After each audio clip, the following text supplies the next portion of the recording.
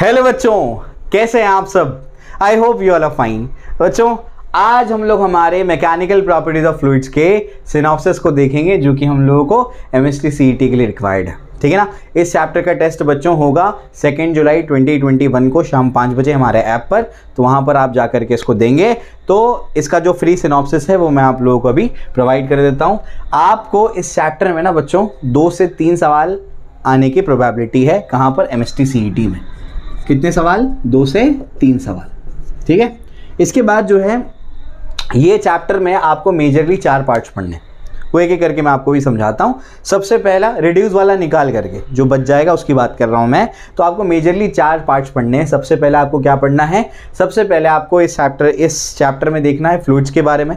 फिर आपको surface tension पढ़ना है। फिर आपको विस्कॉसिटी के बारे में देखना है। फिर आपको थोड़ा सा हाइड्रोडाइनमिक्स देखना है। ठीक है? क्लियर हो गया? तो आपको जो है इस चैप्टर में चार मेजर हिस्से पढ़ने हैं, जिसमें से सबसे ज़्यादा सवाल आने की प्रोबेबिलिटी सरफेस टेंशन से है। अगर सबसे ज़्यादा सवाल आ सकते हैं किसी पार्ट से तो वो सरफेस टेंशन से है। उसके मैं कई सारी आपको ट्रिक्स बताऊँगा, बिल्कुल भी घबराना नहीं है। चैप्टर बहुत आसान है, बिल्कुल घबराने की ज़रूरत नहीं है। आइए इसको समझते हैं, ठीक है? सबसे पहला पार्ट जो हम लोग को इस चैप्टर में पढ़ना है, वो क्या है? फ्लूइड्स है। तो फ्लूड्स के बारे में थोड़ा सा बताता हूँ, फिर हम लोग उसके बाद सरफेस टेंशन के बारे में सीखेंगे। ठीक है, ज़्यादा अपने को वही देखना है सरफेस टेंशन के बारे में। तो सबसे पहले आपको क्या जानना है फ्लूड्स क्या होता है? किसको बोलते हैं फ्लूड फ्लूड ऐसे सब्सटेंसेस या ऐसे सब्सटेंस सब्सटेंसेस सब्सटेंसेस दोनों ठीक है, लेकिन सही प्रोनाउंसिएशन जो कहा जाता है वो है सब्सटेंसेस लेकिन हमको बचपन से क्या पढ़ाया गया? सब्सटेंसेस तो दोनों चलेगा। ठीक है ना?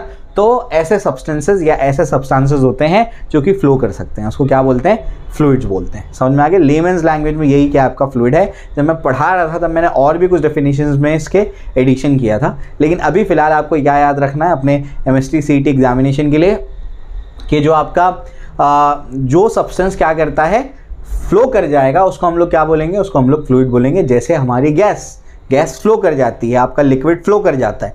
मूवमेंट में यानी बेसिकली चलने में और फ्लो करने में क्या डिफरेंस है, वो मैं आपको पहले भी लेक्चर में बता चुका हूँ। अभी आपको सिर्फ़ क्या याद रखना है कि जो जिसका मूवमेंट जिसका फ्लो हो जाता है, उसको हम लोग क्या बोलते हैं? फ्लूइड कहते हैं, ठीक है ना? तो एग्ज़ाम्पल क्या है? एग्ज़ाम्पल इसके हैं लिक्विड हो गया कोई भी गैसेस हो गई, और आपका प्लाज्मा हो गया। प्लाज्मा यानी ब्लड प्लाज्मा नहीं। प्लाज्मा का मतलब क्या होता है? प्लाज्मा का मतलब आपका फोर्थ स्टेट ऑफ़ मैटर जो है ना, वो प्लाज्मा की बात कर रहा है। समझ आ गया? क्लियर हो गया? चलो भाई तो ये आपके फ्लूड्स की बात हो गई। इसके बाद आगे बढ़ते हैं। आगे क्या है? इसके बाद आप इसको समझने की कोशिश करेंगे। फ्लूइड्स तो यहाँ पर आपको मैंने समझा दिया। अब इसके बाद जो है फ्लूइड्स जो हम लोगों को इस चैप्टर में देखना है, वो कौन सा है? वो आइडियल फ्लूइड है बच्चों। कौन सा फ्लूइड है? आइडियल फ्लूड है। आइडियल फ्लूड क्या होता है? जो नॉन विस्कस होता है। विस्कस यानी क्या? गाढ़ापन। बिल्कुल गाढ़ा नहीं होता। कौन? आपका आइडियल फ्लूइड इरोटेशनल होता है, उसके अंदर भवरे नहीं बनते एडीज नहीं बनती, समझ में आ गया? ठीक है ना? तो नॉन विस्कस होता है इरोटेशनल होता है, उसका बिल्कुल स्टीडी फ्लो होता है, समझ आ गया? क्लियर हो गया? ये सब उसकी क्या है?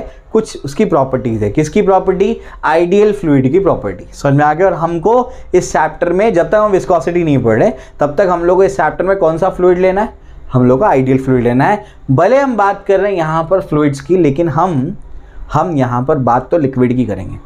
हम बोल तो रहे हैं फ्लूड है मैकेनिकल प्रॉपर्टीज़ ऑफ़ फ्लूड्स लेकिन हम इस चैप्टर में मेजरली पढ़ते क्या है? हम लिक्विड्स के बारे में पढ़ते हैं गैसेस के बारे में, इसके बाद के चैप्टर में पढ़ते हैं। कौन सा है वो? काइनेटिक थ्री ऑफ़ गैसेस वहाँ पर गैसेस के बारे में पढ़ते हैं। यहाँ पर मेजरली क्या पढ़ते हैं? लिक्विड के बारे में पढ़ते हैं। तो यहाँ पर फ्लूड का मतलब बेसिकली क्या है? लिक्विड ही है, क्योंकि लिक्विड के बारे में ज़्यादा पढ़ना है। कौन से चैप्टर में? मैकेनिकल प्रॉपर्टीज़ ऑफ़ फ्लूड्स में। तो इसकी प्रॉपर्टीज़ क्या है? ये होता है इरोटेशनल फिर नॉन विस्कस ठीक है ना? उसके बाद स्टीडी फ्लो एक्सेट्रा एक्सेट्रा ये सब कुछ आ, मतलब क्या कहते हैं उसको परम पारंपरिक बातें हैं जो वो बतानी पड़ती है चैप्टर की शुरुआत में तो मैंने आपको बता दी। तो ये कुछ चीज़ें मुझे बतानी पड़ी। अब हम लोग क्या करते हैं मुद्दे पे जाते हैं। हमारा मुद्दा क्या है? हमारा मुद्दा है सरफेस टेंशन तो हम लोग वो पढ़ेंगे क्योंकि उसी से सवाल आने की प्रोबेबिलिटी सबसे ज़्यादा होती है। क्लियर हो गया? समझ में आ गया? चलिए आइए हम लोग पढ़ते हैं। चलिए। तो हम लोग जो है सरफेस टेंशन के बारे में भी पढ़ते हैं। सरफेस टेंशन क्या होता है बच्चों? तो सरफेस टेंशन पढ़ने से पहले हम लोगों को cohesive force and adhesive force के बारे में पढ़ना है। कोहेसिव फोर्स क्या होते हैं एडेसिव फोर्स क्या होते हैं? पहले भी आपको बता चुका हूँ मैं, दो सेम टाइप के मॉलिक्यूल के बीच में जो फोर्स होगा, उसको क्या बोलेंगे? कोहेजिव फोर्स और दो डिफरेंट टाइप के मॉलिक्यूल्स के बीच में जो फोर्स होगा, उसको क्या बोलेंगे? एडेसिव फोर्स ठीक है एग्ज़ाम्पल के तौर पर जैसे ग्लास में पानी भरा हुआ है। अगर ग्लास में पानी भरा हुआ है तो दो वाटर मॉलिक्यूल्स के बीच में जो फोर्स होगा, उसको आप लोग क्या बोलेंगे? कोहेसिव फोर्स बोलेंगे। लेकिन आपके वाटर मॉलिक्यूल और ग्लास मॉलिक्यूल के बीच में जो फोर्स होगा, उसको आप लोग क्या बोलेंगे? एडेसिव फोर्स बोलेंगे। समझ आया? क्लियर हो गया? तो इस तरीके से कोहेसिव फोर्स एडेसिव फोर्स के बारे में मैंने आपको समझा दिया। अब इसके बाद हम लोग को देखना है कि सरफेस टेंशन क्या है। सरफेस टेंशन बेसिकली क्या है? एक सरफेस प्रॉपर्टी है। किसकी सरफेस प्रॉपर्टी है? एक लिक्विड की सरफेस प्रॉपर्टी है। लिक्विड की सरफेस प्रॉपर्टी में क्या खास बात है? ये लिक्विड की सरफेस प्रॉपर्टी में क्या खास बात? ये लिक्विड की सरफेस प्रॉपर्टी में ये खास बात है कि जैसे एक कंटेनर है कंटेनर में आपने क्या कर दिया? वाटर भर दिया। तो ये प्रॉपर्टी ये कहती है कि वाटर की जो सरफेस है, या कोई भी लिक्विड हो सकता है वाटर हो सकता है शहद हो सकता है, कोई भी लिक्विड हो सकता है। तो जो आपकी वाटर या किसी भी लिक्विड की जो सरफेस होती है ना, वो सरफेस ऐसे बिहेव करती है जैसे रबर की तनी हुई चादर। कैसे बिहेव करती है? जैसे रबर की खिंची हुई चादर हो, बिल्कुल वैसा बिहेव करती है। बात समझ में आ गई क्लियर है? तो सरफेस टेंशन एक ऐसी प्रॉपर्टी है, वो आपको क्या बताती है? वो आपको ये बताता है कि जो आपकी लिक्विड की सरफेस होती है, वो इस तरीके से बिहेव करती है, जैसे ए, वो सरफेस जो है, एक रबर की तनी हुई चादर है। समझ में खींची हुई चादर है। समझ आ गया? क्लियर हो गया? इसके बारे में बहुत डिटेल में बताया था मैंने। एक स्टोरी मैंने आपको पूरा समझाया था कि ऐसे ऐसे ऐसे हमने सोचा होगा। अभी इसकी अपने को ज़्यादा चर्चा नहीं करनी अपने को बस क्या करना है? इसके फॉर्मूलेस को देखना है और ये देखना है कि हमारे सवाल कैसे हल होंगे। ठीक है? क्लियर हो गया? चलो भाई।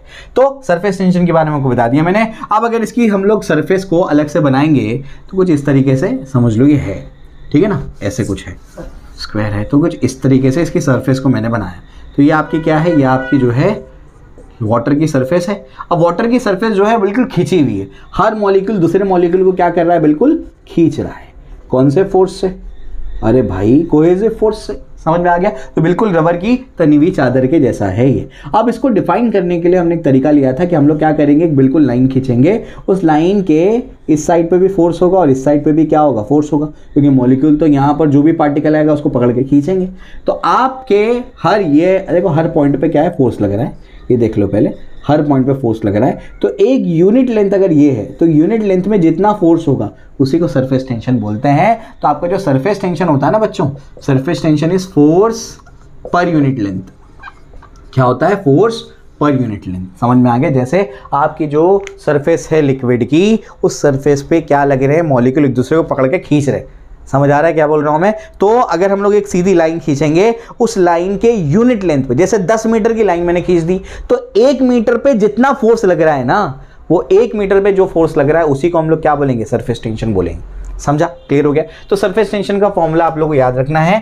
टी से इसको डिनोट करेंगे, जो कि क्या है? एफ़ बाय एल इसके और भी फॉर्मूले हैं, जो है D W by D A समझ में आ गया? Work done in increasing a unit area of the liquid surface ठीक है? या फिर इसको D E by D A भी कहते हैं। समझ में आ गया? ठीक है ना? तो ये जो है सरफेस टेंशन का क्या है? आपका फॉर्मूला है और तीनों फॉर्मूलेज आपको अच्छे से याद रखने। बहुत काम के आएँगे। ठीक है? यूनिट क्या बनेगा बताओ? न्यूटन पर मीटर बनेगा। क्या बनेगा? न्यूटन पर मीटर बनेगा। और भी यूनिट बन सकता है क्या? और यूनिट बन सकता है क्या? बिल्कुल बन सकता है। ये क्या बनेगा बताओ? ये तो वर्क डन है। वर्क डन का क्या होगा? जूल और क्या होगा? मीटर एरिया का मीटर स्क्वायर तो सरफेस टेंशन का यूनिट क्या है? एक तो न्यूटन पर मीटर है और दूसरा क्या है? जूल पर मीटर स्क्वायर है। दोनों इक्विवेलेंट है। ठीक है ना? कैसे? मीटर से मल्टीप्लाई मीटर से डिवाइड कर दो। न्यूटन मीटर तो जूल होता है ना? ठीक है ना? क्लियर हो गया इस तरीके से। तो ये चीज़ आपको ध्यान रखनी है। उसके बाद न्यूटन पर मीटर हो गया। अगर आपको डाइन पर सेंटीमीटर से डाइन पर सेंटीमीटर से न्यूटन पर मीटर में कन्वर्ट करना है तो multiplied by ten raise to minus three करना पड़ेगा। अगर आप टेन टू माइनस थ्री से मल्टीप्लाई करेंगे तो टाइम पर सेंटीमीटर से वो न्यूटन पर मीटर में कन्वर्ट हो जाएगा। ध्यान रखेंगे आप लोग, ये शॉर्टकट आपको कई प्रॉब्लम्स में काम आएगा। बहुत हैंडी होगा। आपके, आपका टाइम बचाएगा। C E T is about speed जितनी अच्छी स्पीड है, उतना आप अच्छा स्कोर कर लेंगे। क्वेश्चन का लेवल बहुत ही टॉप लेवल का नहीं होता सी में। इजी क्वेश्चन होते हैं कि स्पीड फास्ट करनी पड़ेगी। स्पीड फास्ट कैसी होगी? प्रैक्टिस से। उसका एक ही वाहिद इलाज है, क्या है वो? प्रैक्टिस ठीक है? क्लियर हो गया? चलो भाई। तो डी बाई डी आपको समझा दिया मैंने और ये इस तरीके से ये सारी चीज़ें आपके सामने आ गई। इसके बाद जो है, इसके बाद सरफेस टेंशन स्केलार एक वेक्टर है सरफेस टेंशन स्केलार क्वांटिटी है। सरफेस टेंशन किसी क्वांटिटी है? सरफेस टेंशन एक स्केलर क्वांटिटी है, ध्यान रखेंगे आप लोग। ठीक है? क्लियर हो गया? इसके अलावा और क्या बातें कर सकते हैं इसके बारे में? आई होप मैंने सरफेस टेंशन के बारे में आपको आइडिया दे दिया कि बेसिकली सरफेस टेंशन क्या है? सरफेस टेंशन एक प्रॉपर्टी है। किसकी प्रॉपर्टी है? लिक्विड की प्रॉपर्टी है। लिक्विड के कौन से पार्ट की प्रॉपर्टी है? उसके सरफेस की प्रॉपर्टी समझ में आ गया? इस प्रॉपर्टी में क्या होता है? इस प्रॉपर्टी में जो लिक्विड की सरफेस होती है, कोई भी लिक्विड से वाटर की बात नहीं कर रहा हूँ मैं, कोई भी लिक्विड की जो सरफेस होती है, वो एक रबर की खिंची हुई चादर के जैसा बिहेव करती है। समझ में आ गया? अब सरफेस टेंशन कितना है? उसके लिए हमारे पास फॉर्मूला है उसको कैलकुलेट करने के लिए। क्या फॉर्मूला है? फोर्स पर यूनिट लेंथ समझ में आ गया? और भी फॉर्मूले हैं D W by D A या फिर डी यानी energy energy per unit area समझा? क्लियर हो गया? तो ये इसके बारे में मैंने आपको समझा दिया यूनिट समझा दिए, और ये दोनों इक्वेलेंट ए समझा दिया। यहाँ से यहाँ कन्वर्जन ये समझा दिया। क्लियर हो गया? समझ में आ गया? तो आई होप आपको ये समझ में आया है। इसके बाद भी हम लोग पढ़ेंगे एंगल ऑफ़ कॉन्टैक्ट आइए। चलिए तो अभी हम लोग सरफेस टेंशन के बारे में तो देख चुके अब जो है, हम लोग जो है एंगल ऑफ़ कॉन्टैक्ट के बारे में देखते हैं।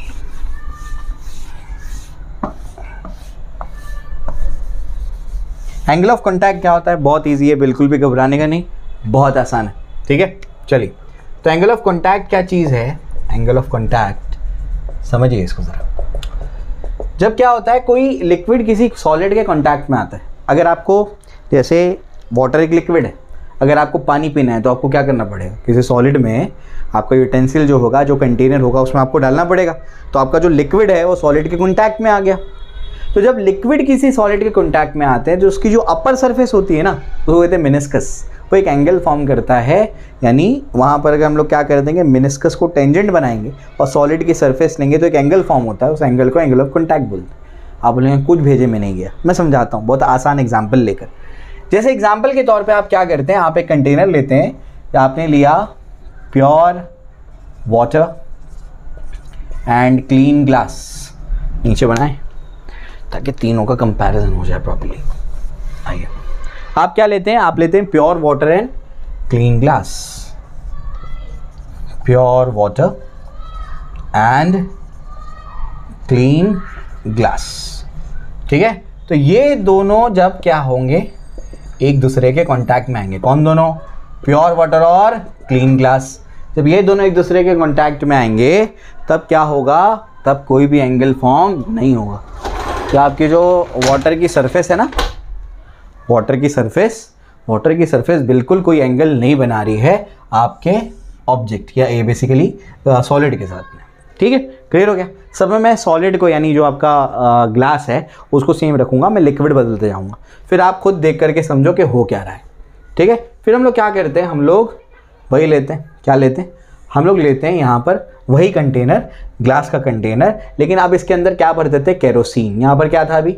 इसमें था वाटर अब क्या भर देते हैं? अब भर देते हैं केरोसिन अगर हम लोग केरोसिन भर देते हैं तो केरोसिन भरने पर ये कुछ इस तरीके से सरफेस हो जाता है। कुछ ऐसा कुछ यहाँ पर सरफेस हो जाता है। आप खुद कर करके देख सकते हैं। तो ये कुछ इस तरीके से यहाँ पर क्या हो जाता है? सरफेस हो जाता है। ठीक है ना? क्लियर हो गया? चलो भाई तो यहाँ तक अपने को बात समझ में आ रही है। यहाँ पर अगर आप देखेंगे गौर से तो ये तो बिल्कुल बिल्कुल क्या है? फ्लैट है।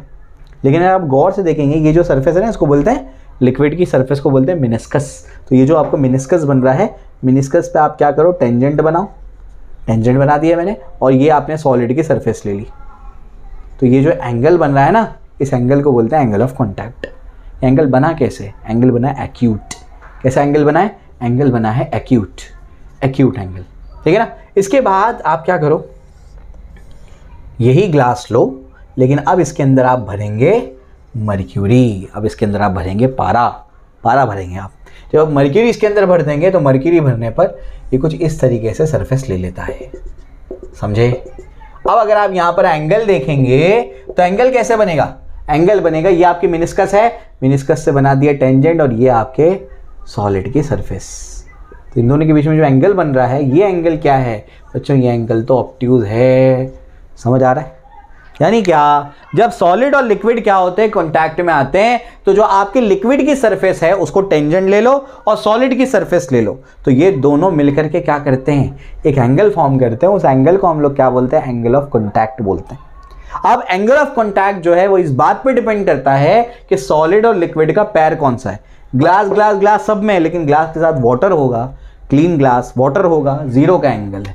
एंगल क्या है? ज़ीरो डिग्री समझे? क्लियर हो गया? जब क्या होगा? ग्लास के साथ में केरोसिन होगा तो एंगल क्या बनेगा? आपका एक्यूट बनेगा। जब मर्क्यूरी के साथ में ग्लास लिया, तब क्या बनेगा आपका? तब ऑप्टिव एंगल बनेगा। तो यहाँ पर ये जो एंगल फॉर्म हो रहा है इसी एंगल को क्या बोलते हैं आप लोग? एंगल ऑफ़ कॉन्टैक्ट बोलते हैं। अगर थोड़ी सी आप इंप्योरिटी यानी बेसिकली एक और चीज़, जैसे आप सॉलिड लिक्विड पैर को चेंज कर रहे हैं। सॉलिड वही रखा लिक्विड चेंज कर दिया एंगल ऑफ़ कॉन्टैक्ट देखो चेंज होते जा रहा है।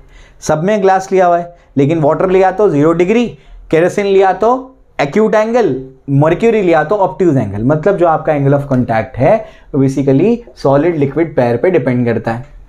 ठीक? क्लियर हो गया? इसके बाद अगर आप क्या कर देंगे, इस केस में थोड़ी सी इम्प्यूरिटी को ऐड कर देंगे। अगर आप थोड़ी सी इम्प्यूरिटी को ऐड कर देंगे सोल्यूबल इम्प्यूरिटी जैसे मैंने सॉल्ट को ऐड कर दिया तो यहाँ पर क्या हो जाएगा? यहाँ पर ये जो आपका है ना, क्या? आपका जो एंगल है वह एंगल थोड़ा सा चेंज हो जाएगा। अगर वाटर में थोड़ी सी इम्प्यूरिटी को ऐड कर देंगे तो ये थीटा 18 डिग्री के आसपास हो जाता है।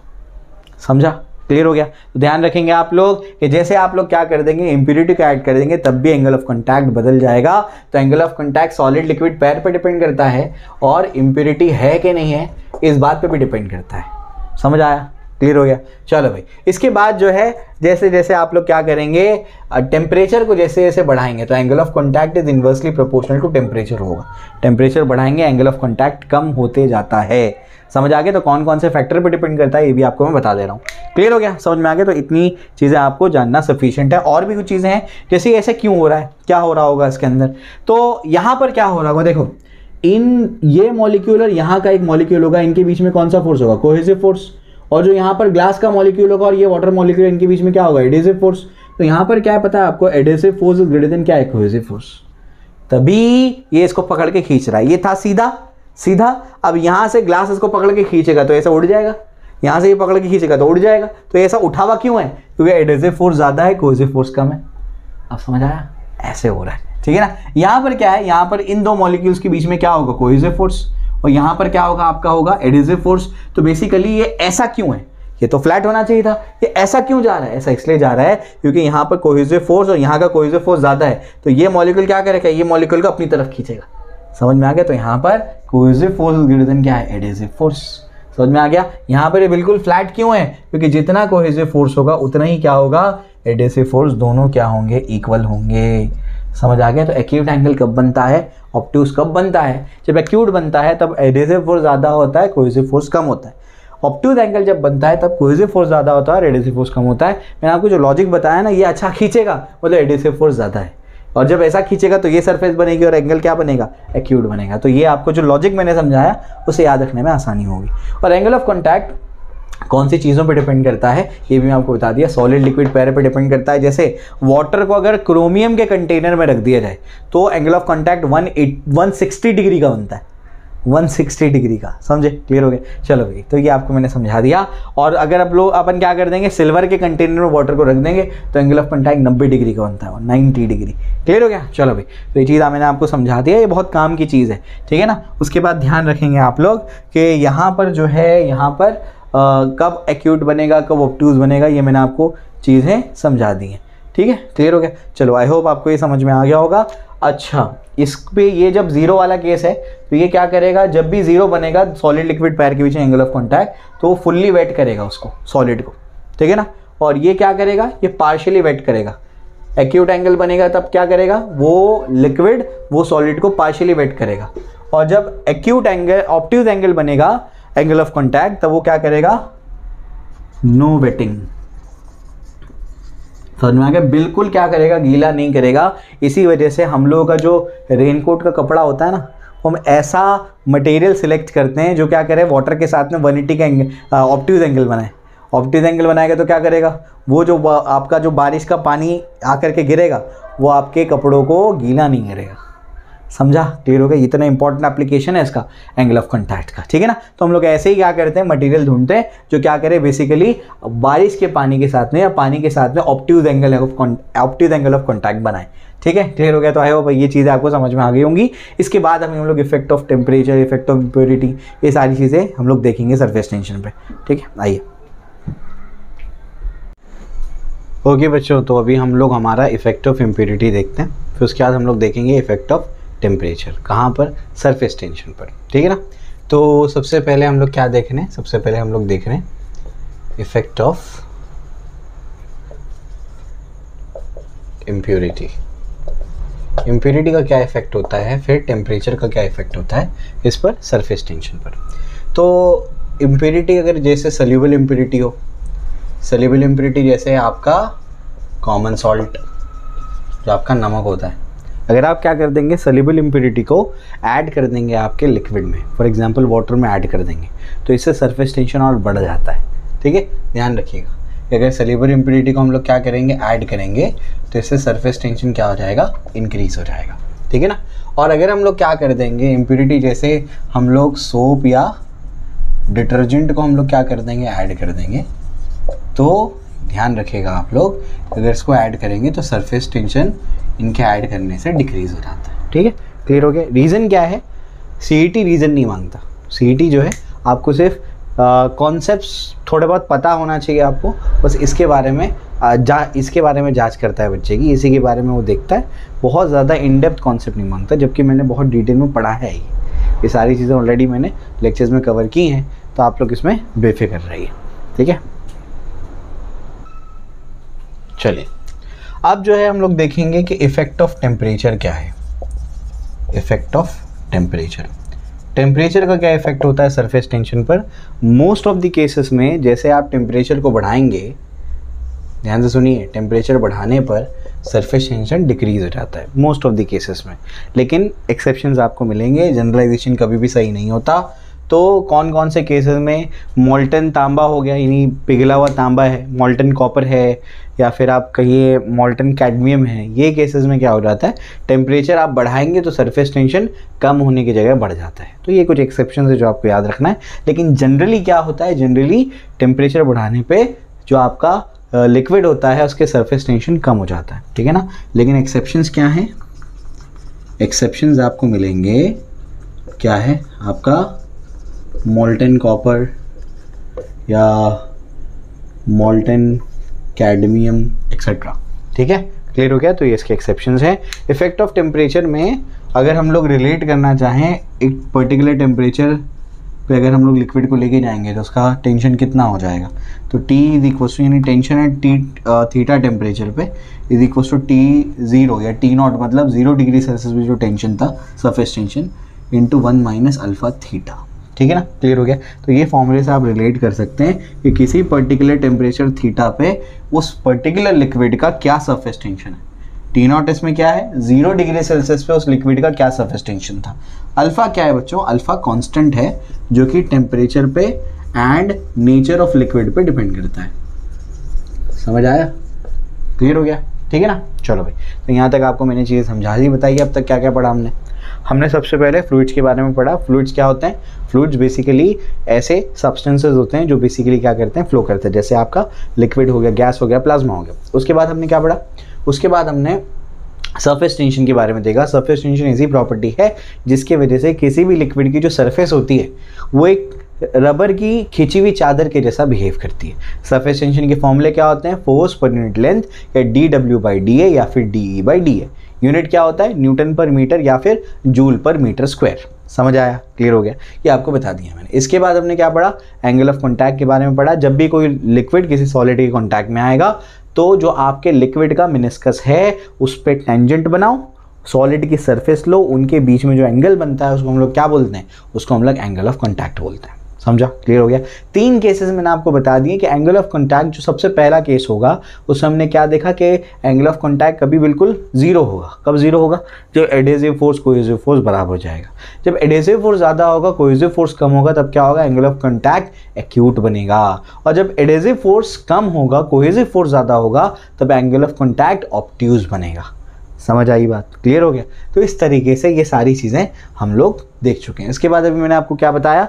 इफ़ेक्ट ऑफ़ इम्प्योरिटी अगर आप सेलिबल इम्प्योरिटी डालेंगे तब क्या होगा? बोलिए बोलिए, मैंने कहा था आपको, मैं याद करा दूँगा पूरा। सेलिबल इम्प्योरिटी डालोगे सॉल्ट डालोगे तो क्या होगा? सरफेस टेंशन बढ़ जाएगा। लेकिन सोप और डिटर्जेंट से क्या होगा? सरफेस टेंशन कम होगा। समझ आया? क्लियर हो गया? चलो। भाई इसके बाद जो है, अगर आप क्या करते हैं टेम्परेचर बढ़ाएँगे तो सरफेस टेंशन भी क्या हो जाता है? टेम्परेचर बढ़ाने पर सरफेस टेंशन कम हो जाता है। लेकिन एक्सेप्शन आपको मिलेंगे। मॉल्टन कॉपर या मॉल्टन कैडमियम वाले केस में टेम्परेचर बढ़ाने पर सरफेस टेंशन जो है, बढ़ जाता है। क्लियर हो गया? किसी भी पर्टिकुलर टेम्परेचर पे किसी भी लिक्विड का जो सरफेस टेंशन होता है, अगर आप उसको रिलेट करना चाहते हैं तो ये उसके लिए फॉर्मूला मैंने आपको बता दिया है। समझ आई बात? क्लियर हो गया? एक और बात। एक ऐसा पर्टिकुलर टेम्परेचर जिस पर क्या होता है? जिस पर आपका कोई भी लिक्विड का सरफेस टेंशन ज़ीरो हो जाता है, उस टेम्परेचर को बोलते हैं क्रिटिकल टेम्परेचर क्रिटिकल टेम्परेचर वो टेम्परेचर होता है जिस टेम्परेचर पर किसी भी लिक्विड के का सरफेस टेंशन ज़ीरो हो जाता है. समझ आ गया? याद रहेगा ये? ठीक है, चलो। अब इसके बाद क्या पढ़ना है? अब इसके बाद मैं आपको पढ़ाता हूँ एसेंट फार्मूला एसेंट फार्मूला क्या होता है? उसको देखिए. या rise of liquid in the capillary tube या कैपिलरी एक्शन ये सारी चीज़ें। ठीक है? ये बहुत इंपॉर्टेंट कॉन्सेप्ट है, बहुत अच्छे से करके जाइएगा। मैंने क्या कहा था आपको स्टार्ट में? सरफेस टेंशन से सवाल आने की प्रोबेबिलिटी सबसे ज़्यादा है। अगर मैं आपसे कहूँ कि सरफेस टेंशन का ऐसा कौन सा पार्ट है, जिसे सवाल आने की प्रोबेबिलिटी सबसे ज़्यादा है तो वो है आपका एसेंट फॉर्मूला बहुत ज़्यादा क्वेश्चन आते हैं। या तो ड्रॉप पे सवाल आएँगे कोलेज हो गया या स्प्लिट हो गए ड्रॉप्स, या तो एसेंट फार्मूला पे सवाल आएँगे। ये दो जो केसेस हैं ये बहुत ज़्यादा इंपॉर्टेंट है। मैं दोनों कवर कराऊँगा, बेफिक्र रहो, बिल्कुल। ठीक है? चलो, आ जाओ आ जाओ। इसके बाद जो है, अभी हम लोग क्या देखने जा रहे हैं? कैपिलर एक्शन बोल दो, एसेंट फार्मूला बोल दो। यही है हमारा अभी अभी डिस्कशन आइए।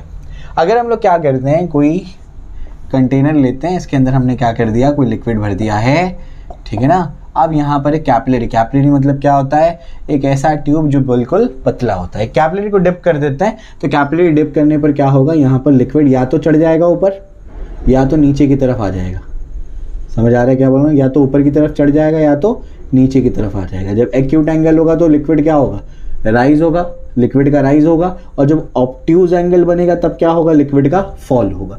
समझ में आ गया? तो यही क्या है? कितना लिक्विड का राइज या फॉल होगा? उसी को अपन क्या कहते हैं? अपना कैपिलरी रिएक्शन कहते हैं। ठीक है ना? अब कितनी हाइट तक ये आपका राइज हो गया? तो उसके लिए फॉर्मूला है बच्चों H is equals to two T cos theta divided by rho R G ये अपना क्या है? हाइट का फॉर्मूला है। समझा? क्लियर हो गया? यहाँ पर जो आपका ये मिनिस्कस है, ये मिनिस्कस का जो भी आपका यहाँ पर देखो ऐसा है, इसमें जो वाटर है, उसको हम लोग ने कंसिडर नहीं किया हुआ है। हम सिर्फ़ इतना हिस्सा लेते हैं। अगर ये मिनिस्कस का वाटर लिक्विड हो लो वाटर मैंने मान लिया।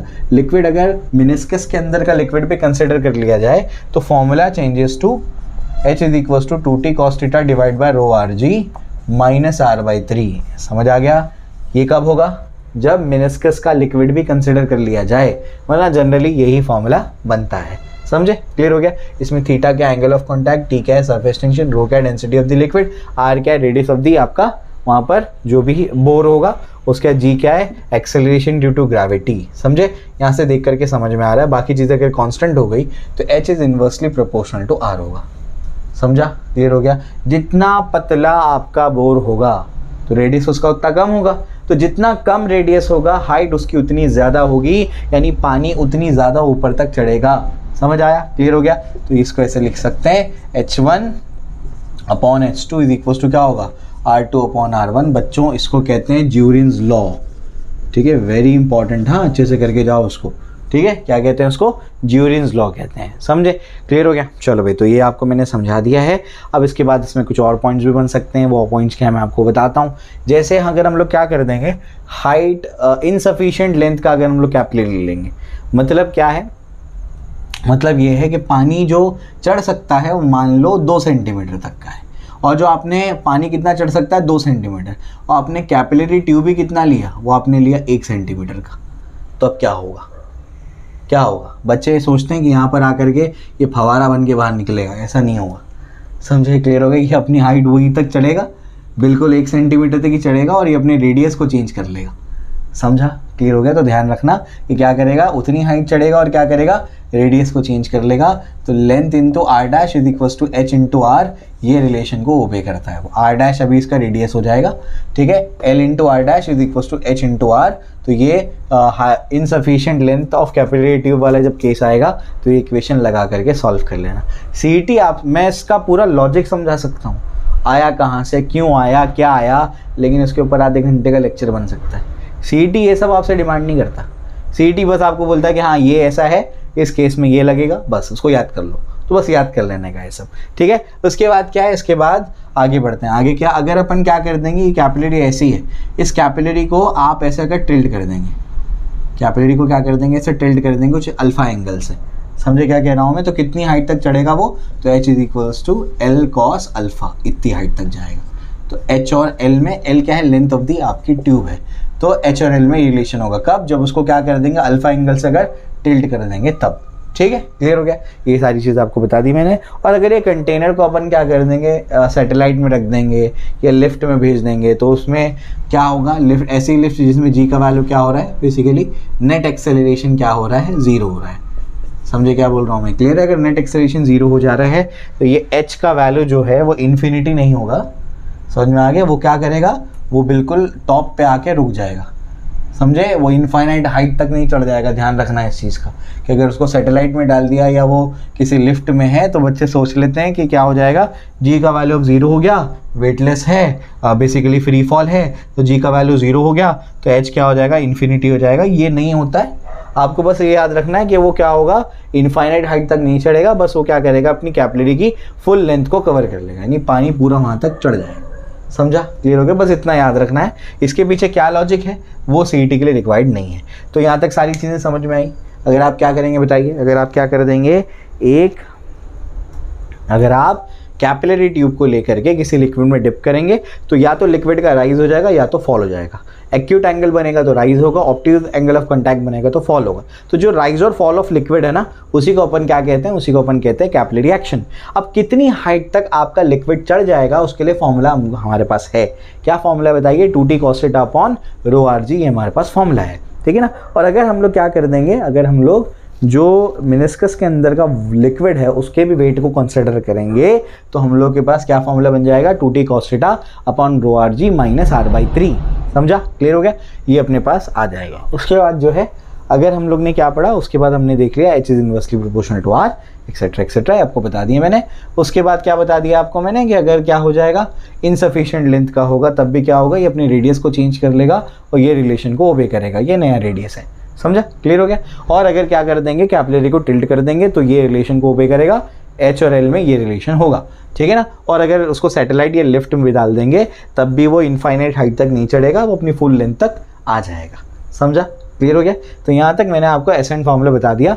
अब इसके बाद हम लोग क्या करेंगे? हमारा सोप बबल पे जाएँगे। आइए।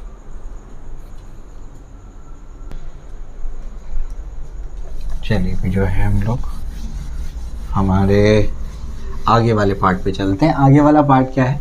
इसके बाद अभी हम लोग सोप बबल के बारे में देखते हैं। ठीक है? चलिए। तो सोप बबल वाला केस क्या है? आइए उसको समझते हैं। तो सोप बबल ठीक है ना? एक सोप बबल होगा, एक एयर बबल होगा। ठीक है ना? अब अगर आपका जो सोप बबल है, उसमें अगर यहाँ पर देखो एक इनसाइड प्रेशर है और एक आउटसाइड प्रेशर है। तो अगर आप चाहते हैं कि P inside minus P outside यानी पी एक्सेस प्रेशर आप निकाल लें, है ना? सिंपल सी बात है, यहाँ पर अंदर प्रेशर ज़्यादा है। सी अगर दोनों साइड प्रेशर बराबर होता तो ये सरफेस ऐसी होती। लेकिन ये सरफेस ऐसी है। ऐसे क्यों है? क्योंकि अंदर प्रेशर ज़्यादा है। इसी वजह से सरफेस ऐसी है। तो अगर ये सरफेस ऐसी है तो अंदर का प्रेशर ज़्यादा होगा, और कितना प्रेशर होता है? वो होता है four T by R radius क्या? कैपिटल आर तो ये एक्सेस प्रेशर जो है, कौन से केस में? ये आपका सोप बबल वाले केस में कितना होगा? Excess pressure four T by R होगा। ठीक है? क्लियर हो गया? ये पहली चीज़ होगी। उसके बाद जो है सेकंड सेकंड क्या है? अगर हम लोग क्या करेंगे? लिक्विड ड्रॉप की बात करेंगे तो लिक्विड ड्रॉप में जो आपका एक्सेस प्रेशर आएगा P I minus P O is equal to होगा होगा टू टी बाई आर ठीक है ना? ये आपका क्या है? पी एक्सेस प्रेशर समझा? क्लियर हो गया? तो इस तरीके से ये चीज़ का आपको ध्यान रखना है। ठीक है? इसके बाद जो है, अगर आपका एयर बबल होगा बच्चों एयर बबल होगा। और कैसे कैसे आते हैं वो भी बता देता हूँ मैं। एयर बबल जो है वो आपको बता देगा, एक कंटेनर है कंटेनर का कंटेनर में कोई लिक्विड भरा हुआ है, उससे कुछ एच हाइट नीचे एक एयर बबल है। ठीक है ना? एच हाइट नीचे क्या है? एक एयर बबल है। तो अगर एच हाइट नीचे अगर आप एयर बबल है तो इनसाइड कितना प्रेशर होगा? तो उसमें पी एटमॉस्फेयर होगा। एटमॉस्फेरिक प्रेशर प्लस क्या होगा? एच रो जी होता है प्लस उसमें होता है टू टी बाय जो भी उसका रेडियस होगा टू टी बाई आर समझे? तो इनसाइड इसका प्रेशर इतना होता है ठीक है? एयर बबल जो कि free surface of the liquid के से एच हाइट नीचे है समझा? क्लियर हो गया? तो ये चीज़ें मैंने आपको समझा दी इसके अंदर। ये सब फॉर्मूलेज बहुत अच्छे से याद करिएगा ठीक है ना? क्लियर हो गया? चलिए तो ये मैंने आपको बता दिया। अब जो है आ, कुछ और फॉर्मूलेज बताता हूँ मैं आपको आइए। कुछ और फॉर्मूलेज क्या है? जैसे अगर दो आपके सो बबल्स जो हैं कोलेज हो जाए। कोलेज का मतलब क्या होता है? कोलेज का मतलब होता है कंबाइन हो जाए। ठीक है? ध्यान रखिएगा। ये सब कॉमन वर्ड्स हैं सरफेस टेंशन में। तो अगर आपके क्या हो जाए, दो एयर बबल्स क्या हो जाए? कोलेज हो जाए। दोनों क्या हो जाए? कंबाइन हो जाए। तो इस एक का रेडियस आर वन है, दूसरे का रेडियस क्या है? आर टू है। दोनों कंबाइन हो जाए। अगर दोनों कोलेज हो जाए तो जो नया रेडियस बनेगा बच्चों। नया जो बबल बनेगा, उसका रेडियस है क्या है? आर है। तो जो आर होगा, वो होगा under root of R one square plus R two square समझे? डेरिवेशन करा सकता हूँ मैं रिक्वायरमेंट नहीं है, बस याद रखो कि दो अगर सोप बबल्स क्या करते हैं? कोलेज होते हैं कंबाइन होते हैं। जो नया बबल बनेगा, उसका जो रेडियस होगा, वो क्या होगा? Under root of R one square plus R two square ठीक है ना? उसके बाद अगर क्या है? दो सोप बबल्स अगर आपके कॉन्टैक्ट में है। दो सोप बबल्स क्या हैं ऐसे? कॉन्टैक्ट में है, इस तरीके से। अगर कॉन्टैक्ट में है तो इनका जो ये जो बन रहा है ना इंटरफेस पे जो इसका ऐसे बन रहा है इसका रेडियस क्या है? आर वन है। इसका रेडियस क्या है? आर टू है। इसको थोड़ा सही बनाता है। ऐसे ऐसे कुछ है ये। तो ऐसे कुछ होगा ये। ठीक है ना? क्लियर हो गया? इसका रेडियस आर टू है। तो, तो इंटरफेस पे अगर ये ऐसे सर्कल कंप्लीट कर लिया जाए है ना? तो इसका जो भी रेडियस बनेगा जो आर बनेगा वो आर क्या होगा? आर होगा R one R two upon R two minus R one समझे? क्लियर हो गया? तो इस तरीके से जो इंटरफेस पे जो रेडियस होगा, जो बनेगा आपका, उसका फॉर्मूला ये है। याद रखिएगा इसको। ठीक है? क्लियर हो गया? चलो इसके बाद जो है, अगर बबल्स को क्या कर दिया जाए? सो बबल्स को चार्ज दे दिया जाए। पॉजिटिव हो या नेगेटिव हो, ठीक है ना? तब क्या होगा? तो अगर इनको चार्ज दे दिया जाए पॉजिटिव या नेगेटिव तब दोनों ही केसेस में जो रेडियस होगा ना, वो बढ़ेगा। क्यों बढ़ेगा, बताइए? फोर्थ हो गया फिफ्थ हो गया सिक्स पॉइंट बबल्स को क्या कर दिया जाए? पॉजिटिव चार्ज दे दिया जाए या नेगेटिव चार्ज दे दिया जाए। ठीक है ना? दोनों ही केसेस में क्या होगा बच्चों? दोनों केसेस में आपका जो रेडियस होगा ना, वो बढ़ेगा। क्यों बढ़ेगा? सिंपल सी बात है, जब हमने इलेक्ट्रोस्टैटिक्स पढ़ा था तो वहाँ पर हमें पढ़ाते हैं बच्चों को कि अगर इन पर पॉजिटिव चार्ज आ गया तो ये सब पॉजिटिव आपस में क्या करेंगे? एक दूसरे को रिपल करेंगे। और रिपल करने की वजह से क्या होगा? दूर भागेंगे और दूर भागने की वजह से क्या करेंगे? इसका रेडियस बढ़ाने की टेंडेंसी होगी। सेम वही कहानी, एक दूसरे को रिपल करेंगे, ठीक है? इस वजह से दूर भागेंगे और उस वजह से रेडियस बढ़ेगा। समझा? क्लियर हो गया? चलो भाई, ये भी आपको बता दिया मैंने। उसके बाद क्या? अगर आप एक सोप बबल को ब्लो करना चाहते हैं तो कितना वर्क करना पड़ेगा? To blow a soap bubble एक सोप बबल को अगर आप क्या करना चाहते हैं ब्लो करना चाहते हैं तो आपको कितना वर्क करना पड़ेगा? तो वर्क डन का फॉर्मूला जो है, वो है eight pi T into R two square minus R one square ठीक है? क्लियर हो गया? तो इसका फॉर्मूला है, और अगर सोप बबल के बजाय आपका क्या होगा? लिक्विड ड्रॉप होगा। क्या होगा? लिक्विड ड्रॉप तो अगर लिक्विड ड्रॉप होगा तो ये जो वर्क डन का फॉर्मूला है, वो है four pi T into small R two square minus R one square कर देते हैं इसको। ठीक है? क्लियर हो गया? चलो। तो यहाँ तक आपको मैंने समझा दिया। अब मैं आपको कुछ और यूज़फुल इन्फॉर्मेशन देता हूँ। चलिए। तो प्रॉब्लम सॉल्व करने के लिए कुछ और इन्फॉर्मेशन मैं आपको देता हूँ। और फिर हम लोग जो है, आगे बढ़ते हैं। देखिए। तो अगर क्या हो जाए, अगर एक, ऐसे करिए इसको splitting of a drop splitting of a drop एक ड्रॉप का अगर हम लोग क्या करेंगे स्प्लिट करना चाहेंगे, तब क्या होगा? तो एक बड़ा ड्रॉप है जो स्प्लिट करके क्या करना है? छोटे छोटे ड्रॉपलेट्स फॉर्म करने हैं इसके। ठीक है? क्लियर हो गया? इस तरीके से। इसका रेडियस क्या है? कैपिटल आर इनका रेडियस क्या है? स्मॉल आर ठीक है? ये कितने हैं? एंड ड्रॉपलेट्स हैं। कितने हैं? एंड ड्रॉपलेट्स ठीक? क्लियर हो गया? चलो भाई तो बेसिकली अभी हम लोगों को क्या करना है? अभी हम लोगों को ये देखना है कि ये करने में, ये प्रोसेस करने में हमको कुछ ना कुछ क्या करना पड़ेगा? यहाँ पे जो सरफेस टेंशन है, जो यहाँ पर बेसिकली जाल बना हुआ है, वो तोड़ने के लिए क्या करना पड़ेगा? अपने को वर्क करना पड़ेगा। तो कितना वर्क करना पड़ेगा? तो मैं जानता हूँ टी इक्वल्स टू क्या है? D W by D A होता है। तो वर्क कितना करना पड़ेगा? D W is equal to T into D A ठीक है? क्लियर हो गया? चलो भाई। एक चीज़ आप लोग ध्यान रखेंगे तो ये यहाँ से यहाँ जाएगा। तो भले सरफेस एरिया बढ़ जाएगा। पहले तो सरफेस पे कितनी जगह ले रहा था? सिर्फ़ इतनी जगह ले रहा था सरफेस पे। अब ये क्या हो गया? इसको तोड़ दिया। तो अब सरफेस पे क्या करेंगे? इतनी सारी जगह ले लेंगे। सरफेस एरिया बढ़ गया। लेकिन वॉल्यूम नहीं बढ़ेगा। वॉल्यूम जितना पहले था, उतना ही बाद में रहेगा। ठीक है ना? तो volume of the bigger drop is equals to N times volume of smaller drop one small drop droplet का वो उसको। वॉल्यूम ऑफ़ बिगर ड्रॉप क्या होगा? वो होगा four by three pi capital R cube और ये क्या होगा? फोर बाई थ्री पाए और ये क्या होगा? स्मॉल आर क्यूब ठीक है? Four by three pi four by three pi cancel हो गया। बताओ बचेगा क्या? ये बचेगा R cube is equals to N into small R cube तो आर इज़ इक्वल्स टू क्या होगा? N raise to one by three और स्मॉल आर समझे? क्लियर हो गया? तो इस तरीके से ये अपने पास क्या आ गया? ये रेडियस आ गया। तो ये अपना क्या है? रेडियस हो गया बिगर ड्रॉप का स्मॉल ड्रॉप से। इन दोनों को मैंने क्या कर दिया? कनेक्ट कर दिया। अब यहाँ पर जो है कितना वर्क डन होगा वो मैं आपको निकाल करके बताता हूँ। ठीक है? क्लियर हो गया आइए उसको कैसे निकालेंगे? देखिए।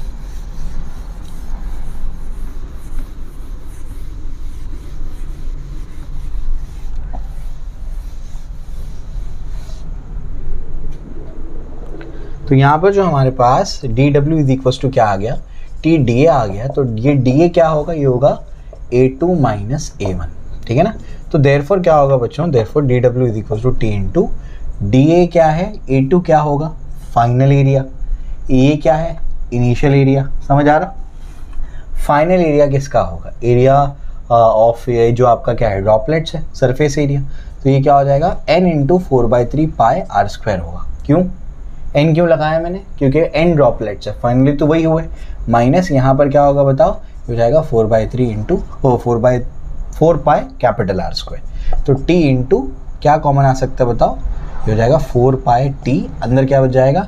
N small R square minus capital R square तो four pi capital T into ये आपके पास क्या है? अगर आप इन दोनों को देखेंगे तो आपको क्या समझ में आ रहा है? स्क्वायरिंग अगर आप कर देंगे तो बताइए क्या होगा? ये इसकी स्क्वायरिंग कर दीजिए तो बताओ क्या होगा? आर स्क्वायर इक्वल टू क्या होगा? ये टू बाई थ्री और ये क्या हो जाएगा? स्मॉल आर स्क्वायर तो कैपिटल आर स्क्वायर की जगह बच्चों क्या लिख सकते हैं? कैपिटल आर स्क्वायर की जगह लिख सकते हैं आप लोग। देखिए N into small R square minus हो जाएगा N raise to two by three और ये क्या हो जाएगा? स्मॉल आर स्क्वायर समझा? क्लियर हो गया? अब यहाँ पर four by three four pi T small R square और क्या हो जाएगा? एन माइनस ये हो जाएगा टू बाई थ्री समझा? क्लियर हो गया? एन को भी कॉमन ले सकते हैं आप लोग। अब जैसे आप लोग को ठीक लगे, वैसे आप लोग करना। ठीक है? एन को कॉमन ले लेंगे तो यहाँ पर उसको पहले स्प्लिट कर लेना। ठीक है ना? क्लियर हो गया? स्प्लिट करके आप लोग लिख सकते हैं। मैंने आपको एक तरीका बता दिया। अब जैसे आपको ठीक लगे, वैसे आप लोग इसको करिएगा। ठीक है? क्लियर हो गया? चलो। तो यहाँ पर जो है, ये आपको समझा दिया मैंने। अब इसके बाद अभी तो हमने बड़े ड्रॉप को तोड़ करके क्या कर दिया? ड्रॉपलेट्स में कन्वर्ट किया। ठीक है ना? अच्छा। ये तोड़ने में हम लोग को क्या चाहिए? एनर्जी चाहिए। है ना? अब एनर्जी कौन करेगा? एक्सटर्नल एजेंट करेगा। अगर एक्सटर्नल एजेंट के बारे में इंफॉर्मेशन नहीं है, और ड्रॉप फिर भी टूट करके ड्रॉपलेट्स में कन्वर्ट हो गया तो एनर्जी आई कहाँ से? एनर्जी आई इंटरनल एनर्जी से। समझ आ गया? तो इंटरनल एनर्जी क्या होगी? फिर कम होगी। अगर एक्सटर्नल एजेंट ने वर्क नहीं किया, ध्यान से सुनिए, अगर एक्सटर्नल एजेंट ने वर्क नहीं किया है तो एनर्जी कहाँ आएगी? कहाँ से आएगी? उसकी इंटरनल एनर्जी थर्मोडाइनमिक्स में पढ़ाया था मैंने। इंटरनल एनर्जी अगर कम होगी फिर, है ना? यू यूज़ करके वो टूट गया। तो अगर इंटरनल एनर्जी कम होगी तो temperature is a function of internal energy ये बताया था टेम्परेचर हमारे केसेस में जितना हम पढ़ते हैं, उसमें temperature is the only function of internal energy समझ में आ गया, ठीक है ना? तो याद रखेंगे कि अगर इंटरनल एनर्जी का यूज़ करके ये ड्रॉप टूट करके ड्रॉपलेट्स बनाए तो उस केस में इंटरनल एनर्जी भी कम होगी और टेम्परेचर भी कम होगा। ठीक है? क्लियर हो गया? चलो भाई। सेकेंड केस में क्या होगा कि बहुत सारे ड्रॉपलेट जो है कोलेस यानी बेसिकली कंबाइन होकर के एक ड्रॉप बनाएँगे। समझे? इनका रेडियस क्या है? स्मॉल आर इसका रेडियस क्या है? कैपिटल आर अगर ऐसा हो जाएगा ऐसा कुछ केस हो जाएगा, तब आप लोगों को वही निकालना है। Work is equal to T into क्या होगा? डी हो जाएगा। टी इंटू ये क्या हो जाएगा? ए फाइनल माइनस क्या हो जाएगा? ए इनिशियल हो जाएगा। फाइनल जो भी है, मैं जो बड़ा होगा, उसको मैं पहले लिख दूँगा। ठीक है ना? Area bigger minus area smaller ठीक है ना? चलो भाई तो सरफेस एरिया बिगर किसका? इनका है। तो क्या होगा? ये हो जाएगा आपका N times four pi R square minus क्या हो जाएगा? Four pi capital are square ठीक है ना? तो ये क्या हो जाएगा? फोर पाई कैपिटल टी और ये क्या हो जाएगा? N R square minus capital R square. समझा? क्लियर हो गया? सेम वही कहानी फिर से आप रिपीट कर सकते हैं। क्या रिपीट करेंगे? कि यहाँ पर एन टाइम्स क्या होगा? Four by three pi small R cube is equal to four by three pi capital R cube. ठीक है ना? इन सब का वॉल्यूम क्या है? वॉल्यूम लिखा है मैंने। तो एन टाइम्स ये पूरे का वॉल्यूम एक का वॉल्यूम सॉरी एन टाइम्स एक का वॉल्यूम इज़ इक्वल्स टू पूरे का वॉल्यूम तो four by three pi four by three pi cancel हो गया। तो capital R cube is equals to N small R cube same वही चीज़ यहाँ पर आप सब्सिट्यूट करो और बाकी चीज़ें आप लोग निकाल सकते हैं। क्लियर हो गया? समझ में आ गया? इसके बाद कुछ इंपॉर्टेंट फैक्ट्स आप लोग देख लीजिए। जैसे हम लोग ने क्या देखा था कि हमारे जो डिटर्जेंट वगैरह होते हैं, ये क्या करते हैं? डिटर्जेंट जो है, वो सरफेस टेंशन को कम कर देते हैं। ठीक है? ना सरफेस टेंशन को कम कर देते हैं और एंगल ऑफ़ कॉन्टैक्ट को भी कम कर देते हैं। समझा? क्लियर हो गया? तो डिटर्जेंट जो होते हैं डिटर्जेंट्स हो गए सोप हो गए, वो क्या करते हैं? हमारे सब हमारे लिक्विड के सरफेस टेंशन को कम करेंगे एंगल ऑफ़ कॉन्टैक्ट को भी कम करेंगे। जबकि जो वाटर प्रूफिंग एजेंट्स होते हैं, वो सरफेस टेंशन को बढ़ाते हैं एंगल ऑफ़ कॉन्टैक्ट को भी बढ़ाते हैं। बिल्कुल अपोजिट है, ध्यान रखेंगे। डिटर्जेंट और सोप क्या करेंगे? एंगल ऑफ़ कॉन्टैक्ट को कम करेंगे सरफेस टेंशन को कम करेंगे। जो आपके वाटर प्रूफिंग एजेंट्स होते हैं। हम लोग जो है बताता हूँ थोड़ी स्टोरी हम लोग है ना आ, जब छोटे थे तो हम लोग फोर्थ फ्लोर पे रहते थे। हमारा घर फोर्थ फ्लोर पे था। तो हमारा घर जो है वो ना बारिश के टाइम पे बहुत लीक करता था। छोटे थे मैं और नासिर बहुत छोटे थे तो बहुत लीक करता था। तो हमारे जो बिल्डिंग के सेक्रेटरी थे तो उनको कहते थे हम लोग के ऐसा भी नहीं कि एक पर्टिकुलर जगह से लीक करता था वो बहुत जगह से लीक करता था। हम लोग उसी हालत में पड़े थे तो छोटे थे हम लोग। फिफ्थ सिक्स स्टैंडर्ड में थे कुछ। ठीक है तो ऐसा हो गया कि हम लोग बोलते थे कि अरे वो घर वाले कहते थे, अरे वो केमिकल डालो ना ऊपर, वो केमिकल डालने से क्या होगा? वो पानी अंदर नहीं आएगा। हम लोग टॉप फ्लोर पे है चार माले की बिल्डिंग थी तो बारिश में लीक करता था वो। तो केमिकल क्या होता है? वो बेसिकली केमिकल जो बोलते थे उस टाइम पे, उस टाइम पे तो समझता नहीं था। अब समझता है केमिकल मतलब बेसिकली क्या होता है? वाटर प्रूफिंग एजेंट्स होते हैं। जैसे आप क्या करते हैं, उसको पूरे टेरेस पे क्या कर देंगे वाटर प्रूफिंग एजेंट्स अगर आप क्या कर देंगे, लगा देंगे तो होगा उससे ये ये हो जाएगा उससे कि बेसिकली वाटर प्रूफिंग एजेंट्स जो होते हैं ना, वो एंगल ऑफ़ कॉन्टैक्ट को बढ़ा देते हैं। एंगल ऑफ़ कॉन्टैक्ट बढ़ेगा तो क्या बताया था मैंने, वो वेट ही नहीं करेगा सरफेस को। सरफेस वेट नहीं होगा तो पानी उसको पार करके सीलिंग तक पहुँचेगा ही नहीं। समझा? ये फंडा उसके पीछे। चलो आ जाओ। तो कहाँ पर थे हम लोग? ये मैंने आपको बता दिया। और फैक्ट्स क्या बताने हैं? और कुछ हैं? हाँ अगर ये देख लो, ये भी कभी कभी सवाल मिलते हैं। दो प्लेट्स है, ये बहुत नज़दीक नज़दीक है। जैसे वो जो कवर स्लिप्स होती है ना बायोलॉजी में, दो कवर स्लिप्स के, उनको सेपरेट करना बहुत मुश्किल होता है। कवर स्लिप्स के बीच में थोड़ा सा पानी चले जाए, होता है, हम वो डाइसेक्शन करते हैं। तुमने तो बेचारों में प्रैक्टिकली नहीं किया, बच्चों ने। ठीक है तो जो भी है, तुमने प्रैक्टिकली नहीं किया आप तुम, चलो, जो भी है कवर स्लिप्स तो पता ही होगा एटलीस्ट तो अगर आपके पास क्या है कवर स्लिप्स हैं, यानी कि एक स्लिप है, दूसरी स्लिप है, इसके बीच में कोई लिक्विड है, जैसे वाटर है। तो अगर इनको सेपरेट करना है तो कितना फोर्स लगाना पड़ेगा? तो two A capital T by small T small T क्या है, इसकी थिकनेस है, ये थिकनेस और कैपिटल टी का टेंशन एरिया जो इनका, ये है। तो इतना फोर्स लगाना पड़ता है। समझे? क्लियर हो गया? चलो तो ये समझा दिया आपको मैंने। इसके बाद अगर वर्क डन निकालना है तो क्या होगा? टी इंटू टू ए हो जाएगा। ठीक है ना? तो ए इंटू टू टी लिख दो। ए इंटू टू टी हो जाएगा। है दो सरफेसेस हैं। ठीक है? क्लियर हो गया? तो इतना वर्क करना पड़ेगा इनको, दोनों को सेपरेट करने के लिए सेपरेशन को बढ़ाने के लिए। समझा? क्लियर हो गया? चलो, ये भी बता दिया आपको मैंने। इसके अलावा जो आपकी लिक्विड की सरफेस होती है ना लिक्विड की सरफेस है तो सरफेस के जो सरफेस के मॉलिक्यूल्स होते हैं, उनकी पोटेंशियल एनर्जी क्या होती है? मैक्सिमम होती है। मैं ऑलरेडी सरफेस एनर्जी वाले लेक्चर में बता चुका हूँ। ये इसलिए बताना भी पड़ रहा है क्योंकि सी e में सवाल आया है भाई 2008 में सवाल था इसके ऊपर। तो जो सरफेस के मॉलिक्यूल्स होते हैं उनकी पोटेंशियल एनर्जी सबसे ज़्यादा होती है। ध्यान रखेंगे आप लोग इसका। ठीक है? क्लियर हो गया? चलो ये भी बता दिया आप लोगों मैंने। उसके बाद कुछ चीज़ें और बतानी है जैसे अगर आ, वो इसकी सरफेस पर अगर कोई नीडल रखी है क्या है कोई नीडल है या कोई वायर है तो उसको उठाने के लिए कितना फोर्स लगाना पड़ेगा? तो टेंशन सफिशन का फॉर्मूला क्या फोर्स अपॉन लेंथ यानी फोर्स क्या होगा? टेंशन इंटू लेंथ यही होगा। समझ में आ गया? लेकिन ये होगा टू टी इंटू लेंथ कौन से केस में? नीडल या वायर के केस में। समझ में आ गया? अगर यहाँ पर कोई फ्लैट सर्कुलर प्लेट है, अपन ने क्या रख दिया? ये सरफेस ये अपना वाटर की सरफेस है, और यहाँ पर अपन ने कोई फ्लैट सर्कुलर प्लेट रख दिया। इसको उठाने के लिए कितना फोर्स लगाना पड़ेगा?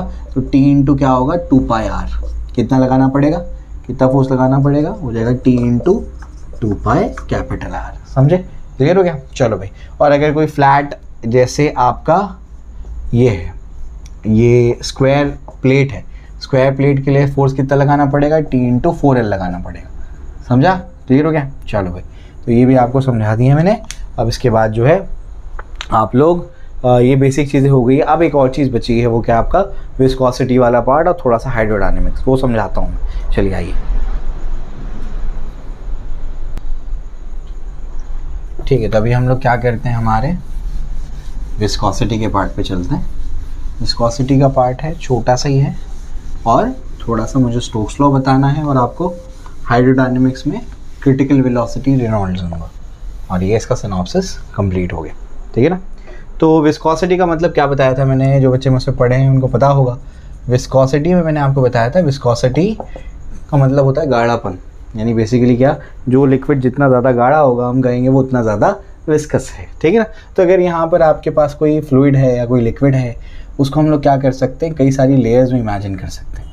तो कोई भी दो लेयर्स के बीच में जो इंटरनल फ्रिक्शन होता है, उसी को हम लोग क्या कहते हैं? विस्कोसिटी विस्कोसिटी को फ्लूइड फ्रिक्शन भी कहा जाता है। तो दो लेयर्स के बीच में, यानी एक लेयर दूसरी लेयर को अपने ऊपर से स्लाइड होने नहीं देनी देती। समझे? क्लियर हो गया? तो ये एक दूसरे पे क्या करती होंगी? फोर्स लगाती होंगी। कितना फोर्स लगाती है? Minus eta A D V by D X ये D V by D X क्या है? इसको कहते हैं वेलोसिटी ग्रेडियंट यानी डिफरेंस इन वेलोसिटी कितना है? पर यूनिट डिस्टेंस ठीक है? ए क्या है? ए है area of the layer area of layer eta क्या है? ईटा है coefficient of viscosity coefficient of viscosity ध्यान रखिएगा फिजिक्स में जब भी कोएफिशिएंट या मॉड्यूलस वर्ड आ जाए, इसका मतलब वो किसी चीज़ को मेजर कर रहा है।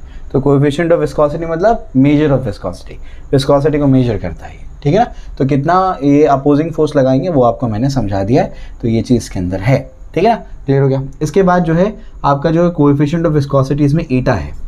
ईटा का जो यूनिट होता है, वो होता है पॉइस कौन से सिस्टम में? सीजीएस सिस्टम में। सीजीएस में क्या होता है? पॉइस और पॉइज विल पॉइज विल कौन से सिस्टम में? एसआई सिस्टम में. Poiseuille is pascal second pascal second और पॉइजविल एक ही चीज़ है. समझ आया? क्लियर हो गया? चलो भाई. पास्कल सेकेंड को क्या लिख सकते हो? पास्कल क्या पता है ना तुम लोग को? क्या होता है pascal pascal is newton per metre square और ये सेकेंड समझे? तो ऐसा भी लिख सकते हैं इसको. तो मुझे कोई बता सकता है कि इसके डायमेंशंस क्या बनेंगे? इंपॉर्टेंट है. ईटा के डायमेंशंस कई मरतबा आए हैं आपके एग्ज़ाम में। पास्कल का क्या होता है? पास्कल इज़ बेसिकली आपका pressure M one L minus one T minus two ये प्रेशर का होता है। मल्टीप्लाइड बाई सेकेंड्स का टी वन तो क्या हो जाएगा? M one L minus one T minus one ये एटा के डायमेंशन तो इससे बहुत आसानी से निकल जाएँगे। इसको आप लोग याद रखिएगा। ठीक है? क्लियर हो गया? तो ये चीज़ आपको मैंने बता दी है। इसके बाद जो है, आगे बढ़ते हैं। आगे क्या? ध्यान रखेंगे, जो आपका सॉलिड का फ्रिक्शन होता है, वो एरिया से इंडिपेंडेंट होता है। एरिया ऑफ़ कॉन्टैक्ट के इंडिपेंडेंट होता है, जबकि फ्लूड का फ्रिक्शन एरिया पे डिपेंड करता है। देख के हमको समझ में आ रहा है। ठीक है? क्लियर हो गया? तो ये चीज़ आपको मैंने समझा दी। इसके बाद हम लोगों को क्या देखना है? इसके बाद हम लोग को स्टोक्स लॉ देखना है। स्टोक्स लॉ क्या होता है? बहुत ईजी है स्टोक्स लॉ अगर आपके पास क्या है? स्टोक्स लॉ में देखिए, बताता हूँ मैं आपको। अगर आपके पास कोई फ्लूड है कंटेनर में फ्लूड भरा हुआ है, या कोई लिक्विड भरा हुआ है ना, इसकी जो डेंसिटी है बच्चों, इसकी डेंसिटी जो है, वो है आपका रो। डेंसिटी कितनी है? रो ठीक है ना? या नहीं सिग्मा इसकी डेंसिटी लेते हैं। इसकी डेंसिटी सिग्मा लेते हैं। इसके अंदर हमने क्या कर दिया? एक स्फीयर को ड्रॉप कर दिया। अंदर की तरफ़ इसकी डेंसिटी कितनी है? इसकी डेंसिटी जो है रो है। इसका रेडियस क्या है? स्मॉल आर है। ठीक है, नीचे की तरफ़ आएगा तो जब नीचे की तरफ़ आएगा तो नीचे वेट लग रहा है ऊपर क्या लगेगा बॉइंट फोर्स लगेगा। तो एक ऐसा पोजीशन आएगी जब अपवर्ड फोर्स और डाउनवर्ड फोर्स क्या हो जाएगा, बराबर हो जाएगा। ये फोर्स एक दूसरे को कैंसिल कर देंगे और ये एक टर्मिनल वेलोसिटी से क्या करेगा मूव करना शुरू कर देगा। समझा? क्लियर हो गया? तो वो जो टर्मिनल वेलोसिटी होती है जो कांस्टेंट वेलोसिटी होती है, उसी को बोलते हैं टर्मिनल वेलोसिटी क्यों? जब फोर्स ही बैलेंस हो गया एक दूसरे से तो यहाँ पर ये क्या करेगा? कांस्टेंट वेलोसिटी से मूव करेगा. अब इस पर जो ऊपर की तरफ़ विस्कस फोर्स लगेगा हम सॉरी बॉइंड नहीं विस्कस फोर्स लगेगा, वो कितना लगेगा? होएगा six pi eta R V इतना लगता है। समझे क्या कह रहा हूँ मैं? ये स्फीयर पे ही अप्लाइड होता है सिर्फ़। यही आपका स्टोक्स लॉ है। तो स्टोक्स लॉ कहता है कि अगर आप स्फीयर को क्या कर देंगे विस्कस लिक्विड में क्या कर देंगे ड्रॉप कर देंगे तो कुछ टाइम के बाद ये क्या करता है, अपनी एक कॉन्स्टेंट वेलोसिटी अचीव कर लेता है। उसको बोलते हैं टर्मिनल वेलोसिटी क्यों अचीव करता है? क्योंकि नीचे का वेट और ऊपर का विस्कस फोर्स इस पर जो लग रहा है, वो एक दूसरे को बैलेंस कर लेते हैं। तो विस्कस फोर्स कितना लग रहा है? तो लग रहा है six by eta R V समझा? इतना लग रहा है। समझे? क्लियर हो गया? चलो भाई। तो ये चीज़ मैंने आपको समझा दी है। और क्रिटिकल वेलोसिटी का जो फॉर्मूला है, वो डिराइव करने की ज़रूरत नहीं याद रखना है हम लोग को। Two by nine R square G rho minus sigma upon eta तो क्रिटिकल वेलोसिटी का जो फॉर्मूला है वो ये है। समझे? क्लियर हो गया? इसमें सिग्मा आपकी लिक्विड की डेंसिटी है रो जो है आपकी स्फीयर की डेंसिटी है मेटालिक है ये। समझे? स्फीयर मेटालिक है। तो ये चीज़ आपको मैंने समझा दी है। इसके बाद जो है, इसके बाद आगे बढ़ते हैं। अब हम लोग हाइड्रोडाइनमिक्स की बात करते हैं। आओ। ये टर्मिनल वेलोसिटी है बेटा वी नहीं है। ये क्या है? वी है टर्मिनल वेलोसिटी ठीक है? अब हम लोग क्या करेंगे? हाइड्रोडाइनमिक्स की बात करेंगे। अब तक फ्लूड चल नहीं रहा था। अब जो है फ्लूड चलेगा। और बिल्कुल आखिरी पार्ट है आपके चैप्टर का, और यहाँ पर आपका चैप्टर का सिनॉप्सिस कंप्लीट हो जाता है। ठीक है? चलो भाई। तो अब क्या होगा? अब हाइड्रोडायनेमिक्स की हम लोग बात करते हैं। तो हाइड्रोडाइनमिक्स में क्या होता है? हाइड्रोडाइनमिक्स में आपका जो है फ्लूड जो है वो मूव करता है। है ना? जब फ्लूड मूव करेगा तो उसके अलग अलग टाइप होते हैं, जैसे आपका स्ट्रीमलाइन कह लो स्ट्रीमलाइन फ्लो है ना? फ्लो जब करता है फ्लूड या फिर आपका टर्बुलेंट कह लो।